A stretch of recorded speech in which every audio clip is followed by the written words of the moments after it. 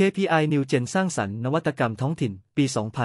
2566 เด็กและเยาวชนจะเป็นกำลังที่สำคัญของชาติไทยในอนาคต สถาบันพระปกเกล้าจึงตระหนักถึงความสำคัญของการพัฒนาและปลูกฝังความรู้ความเข้าใจเกี่ยวกับประชาธิปไตย โดยเปิดเวทีให้เยาวชนคนรุ่นใหม่ เข้ามามีส่วนร่วมการบริหารการเมืองในระดับท้องถิ่น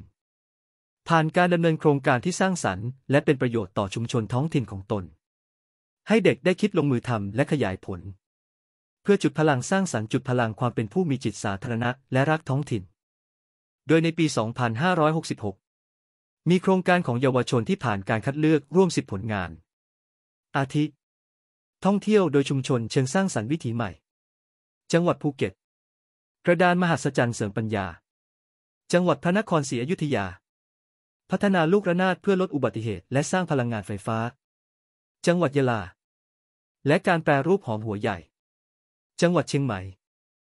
ซึ่งสามารถร่วมชื่นชมและติดตามผลงานสร้างสรรค์ของเยาวชนไทยได้อีกหลายผลงาน จาก KPI New Gen ปี 2566